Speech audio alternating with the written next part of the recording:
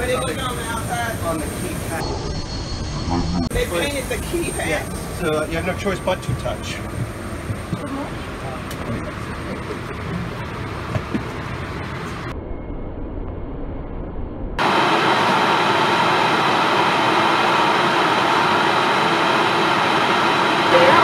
Three-hour and three-minute flight, and I'm joined in the main cabin by two amazing New York-based flight attendants.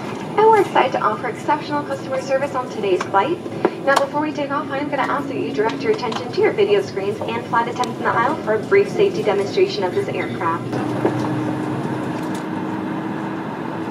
Hello, welcome aboard, and thanks for flying with Delta.